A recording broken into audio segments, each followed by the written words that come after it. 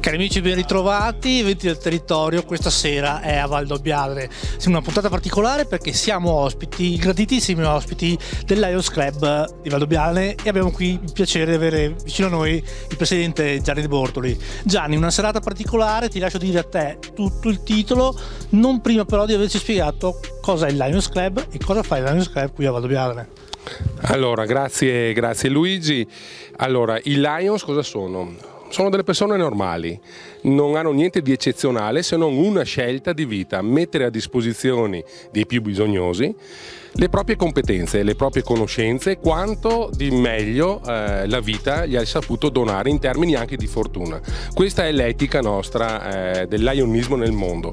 Siamo circa un milione e mezzo nel mondo. Come decliniamo qui a Valdobbiadene questa, questa scelta, una scelta di vita e una scelta morale? Con i service. Abbiamo mm, intuito eh, quest'anno, che è la, la mia annata, diciamo, che è importante la cultura sotto tutti i punti di vista. Abbiamo aiutato gli asili. Come? Con un gioco. Educazione stradale. Fin da bambini impariamo a muoversi in maniera corretta all'interno delle nostre città.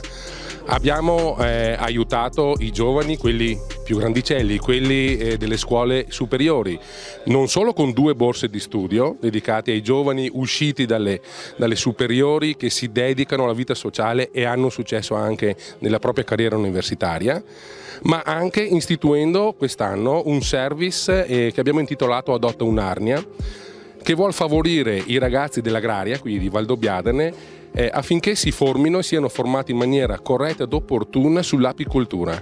L'ape come segnale di salubrità del nostro luogo. Questa è, una, questa è l'iniziativa culturale.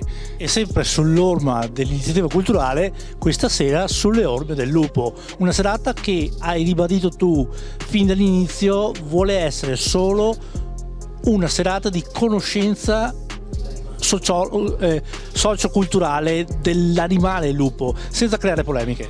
Esattamente, l'intento che credo, visto anche il successo della serata e i tanti partecipanti e i, e i tanti e bei interventi mirati, eh, voleva dare questo, un'informazione corretta. Spesso siamo di fronte a delle notizie eclatanti che non corrispondono al vero.